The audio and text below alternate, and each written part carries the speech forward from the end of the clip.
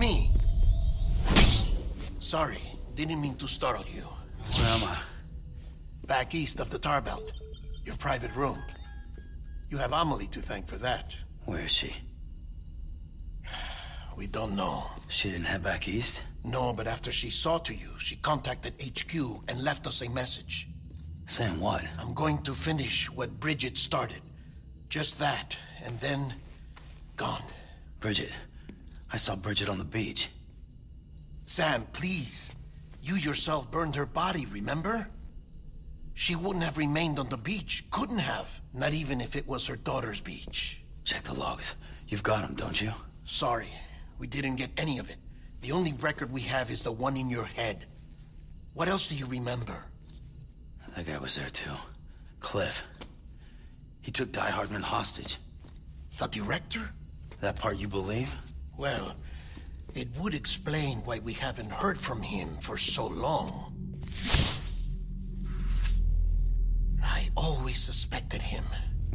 But now I'm starting to piece together a different narrative. Something's been bothering me, you see.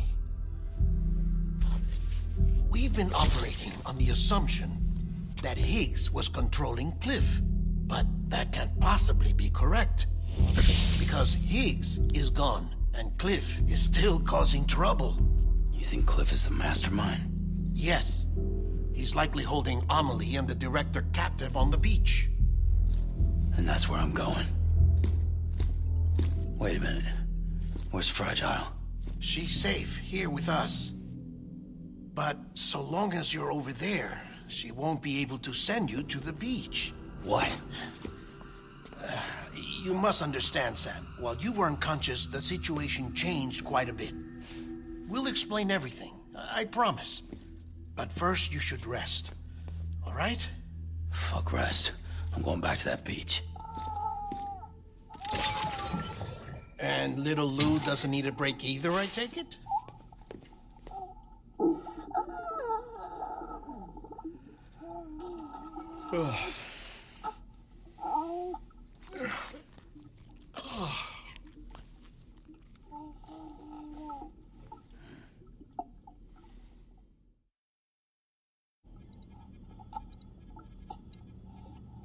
Sam, you us extend the chiral network from coast to coast. And you dealt with Higgs, the UCA's enemy number one. We couldn't have come this far without you. But there is still one final step. We have to swear in a new president and establish a functioning government. Only then will America be whole again. Why don't you save that shit for someone who cares? I've done my part. Fuck America. We've got bigger problems now. I hear you, Sam. Government is the least of our concerns at this point. Cliff has Amelie, which means there may not be anything left to govern come tomorrow. If tomorrow comes at all. Then why aren't we out there doing something about it? I don't care what she is, only that we get her back. Right you are.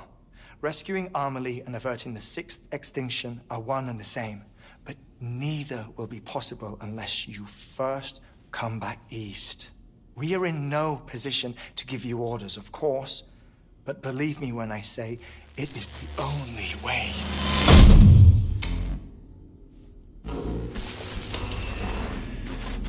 Sam, everyone's here but you. Fragile transported us back to headquarters. You okay? Never been better. Oh. oh Delivering so many people in such a short amount of time is... new. Mama. No, no Lockne. Yeah, I'm here too. Figured I should lend a hand. We're all waiting for you, Sam.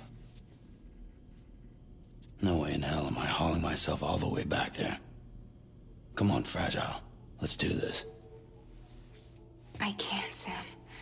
And not just because I'm a wreck. It isn't safe to use the beaches to move people anymore. Chiral spikes have become far more frequent. Possibly as a result of expanding the network nationwide. Too many beaches sharing the same space, wires get crossed, and so forth. You can see the toll it's taking on the network itself. With things the way they are, it's too dangerous to risk jumping through a beach. Even if I reach a beach, There's no telling where I'll come out on the other side. And I could get stuck in there. That's why I can't go to you either. But if I could get to the entrance of the beach, I should be able to get you there. The beaches are still there after all. I can personally attest to that. So yeah, you will need to hold yourself all the way back here. But once you have, I promise I'll take you to Amelie. Straight to her beach. The two of you share a very special connection. Your dreamcatcher, her kipu. They are no mere trinkets. They are singular, irreplaceable totems, embodiments of your shared memories. Two sides of a coin. The price of entry to her beach. Dreamcatchers are a product of Native American tradition, that of the Ojibwe people, to be precise. They were said to ward off nightmares, to alter one's dreams. If Dooms is indeed Amelie's gift to us, her shared dream of our future, perhaps your totem is an invitation to change it, a test, challenging you to find hope amid their hopelessness. While we await your return, I'll search the beach for Amelie and the director. I doubt my ties to them are strong enough, but better that than sitting around doing nothing. I'll see if I can't find something in the records on the three of them. Maybe they're more connected than we know. We're waiting for you. The way home should be easier, right? Hurry back east. You already know the way. And when you get here... Oh, Oh. Finders keepers. Now, get out of there and make sure you head east towards Lake Knot City. There's no cargo to deliver this time. Or rather, you're the cargo. That's the mission.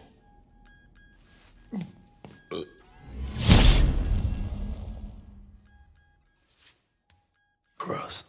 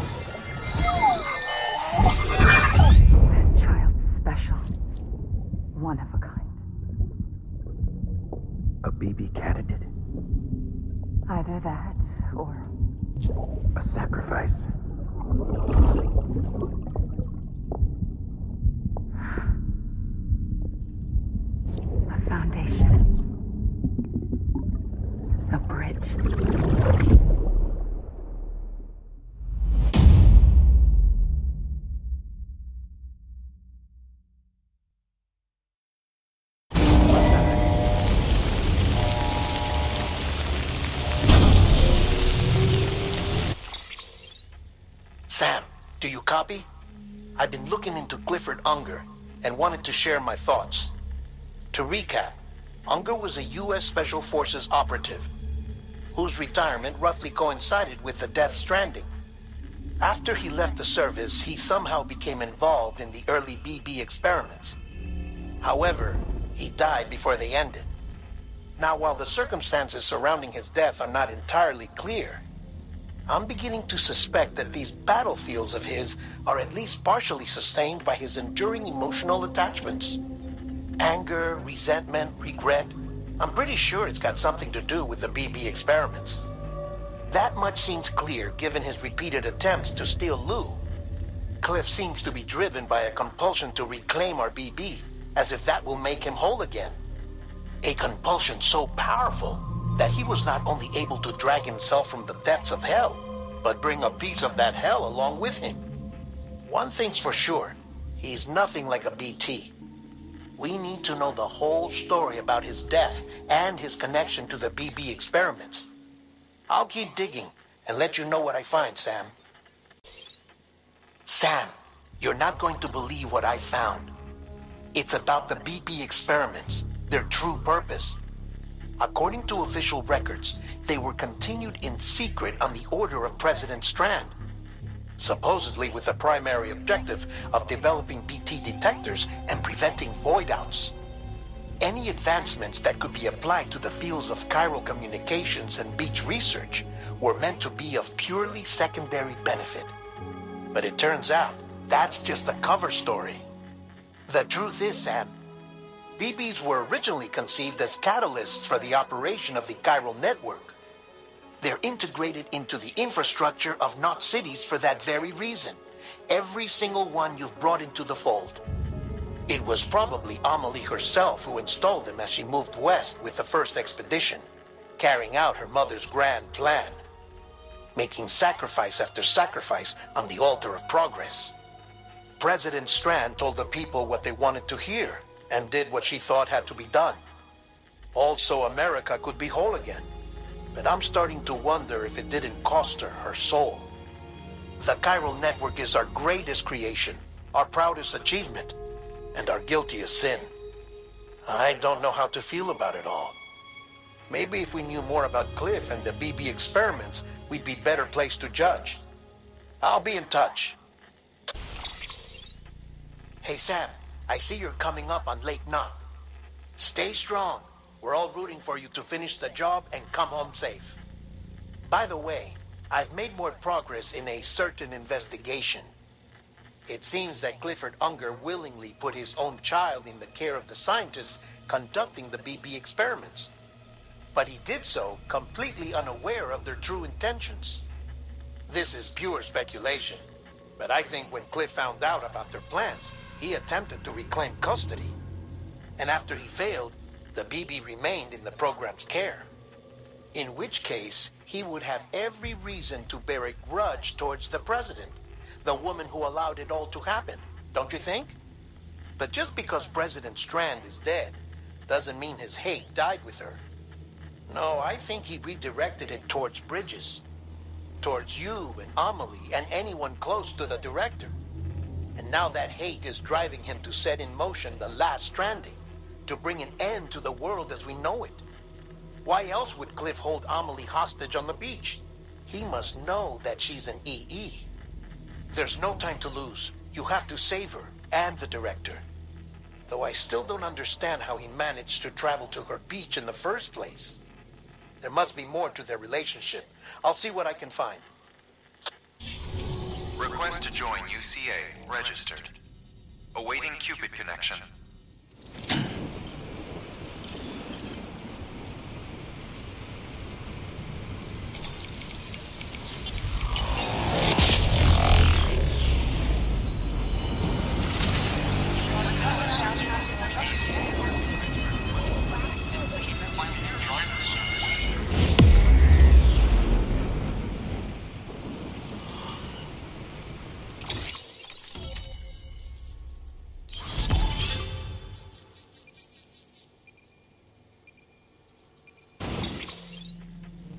Moment, Sam?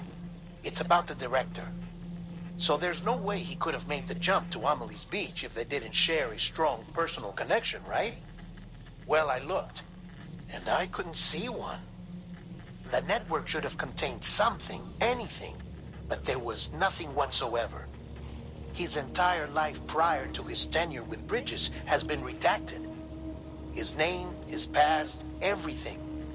There's no telling who he was. Which led me to consider another possibility. What if it isn't the director and Amelie who have a connection, but the director and Clifford Unger? And what if that connection is what facilitated the director's jump to Amelie's beach? If it's those two who have a personal history, then it might explain why Cliff is holding the director hostage as well.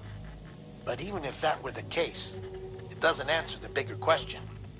How the hell did the two of them end up on Amelie's beach? Sam, Heartman here. There's something else I'd like you to consider. A guess, albeit an educated one, concerning Cliff's objective. Somehow, with the aid of the chiral network, our individual beaches have begun to coalesce, resulting in the formation of a single massive seam. Should this process continue, there is a risk that BTs will flood across into our world, bringing about a death stranding on a heretofore unprecedented scale. Now, Clifford Unger's battlefields and my own beach appear to be unaffected by this phenomenon, existing entirely in isolation. They do not and have never intersected with others. But what if there were another class of beach? One that exists on a higher plane that was responsible for setting this process in motion? And what if the beach in question were none other than Amelie's? Cliff may have summoned the director, but I believe his true aim was to seize control of Amelie's beach, to exploit its power over every other beach, and trigger the last stranding. It's the only rational explanation for Cliff's actions, which is why you have to stop him. If Heartman's right, then we're in serious trouble. Using the chiral network in Amelie's beach to trigger the last stranding? That's why Higgs went after Amelie, wasn't it? If it was Cliff who put him up to it.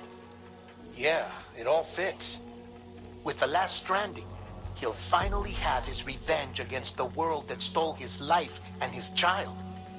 You've got to stop him, Sam. You've got to make the jump to Amelie's beach as soon as possible. Get in and get her back. It's our only hope. If you can't, then we're all doomed.